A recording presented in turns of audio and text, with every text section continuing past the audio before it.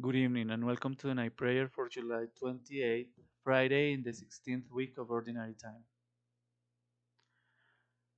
God, come to my assistance.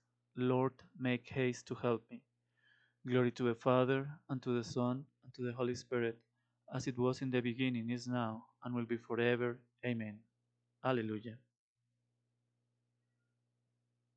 We are called to have a clear conscience toward God and toward men, in our hearts and in our minds, in our actions and inactions. To do so, it is vital that we examine our conscience daily and to ask for God's mercy as we fall short, and to ask for His strength to do better.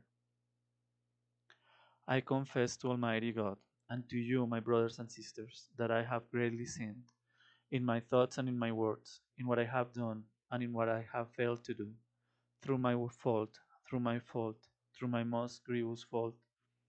Therefore, I ask Blessed Mary, ever Virgin, all the angels and saints, and you, my brothers and sisters, to pray for me to our Lord our God. May Almighty God have mercy on us, forgive us our sins, and bring us to everlasting life. Amen. O gladsome light of grace, of God the Father's face, the eternal splendor wearing, celestial, holy, blessed, our Savior Jesus Christ, joyful in thine appearing. Now day is slowly fading, evening light is showing, evening hymn outpouring, Father of might unknown, thee his incarnate Son, and Holy Ghost adoring.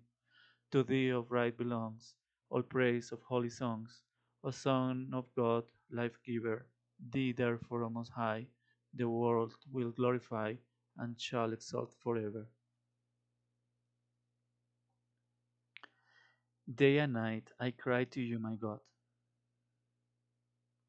Lord my God, I call for help by day, I cry at night before you.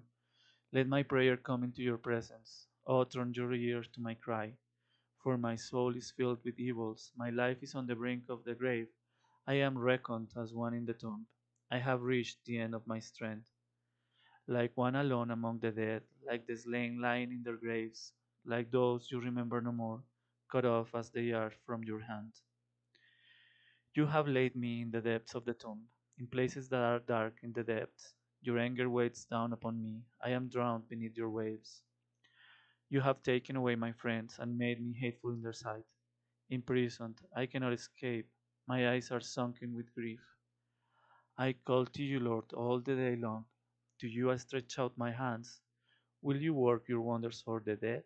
Will the shades stand and praise you? Will your love be told in the grave or your faithfulness among the dead?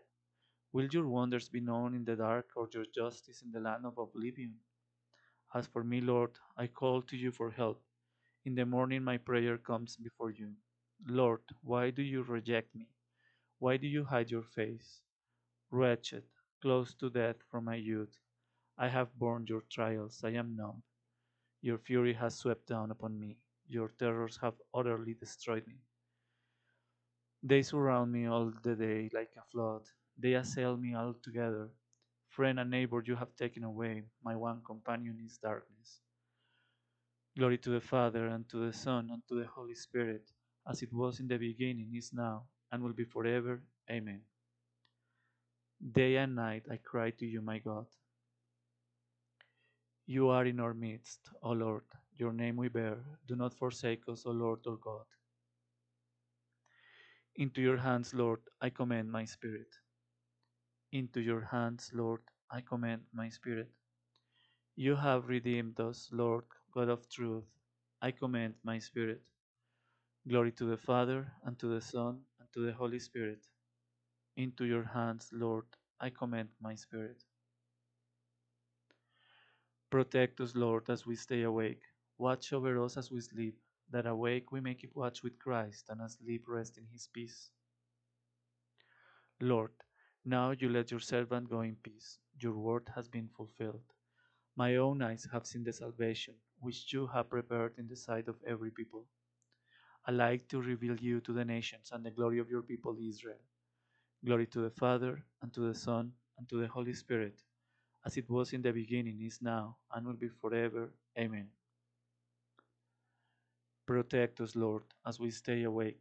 Watch over us as we sleep, that awake we may keep watch with Christ, and asleep rest in his peace. All powerful God, keep us united with your Son in his death and burial, so that we may rise to new life with him, who lives and reigns forever and ever. Amen. May the all powerful Lord grant us a restful night and a peaceful death. Amen.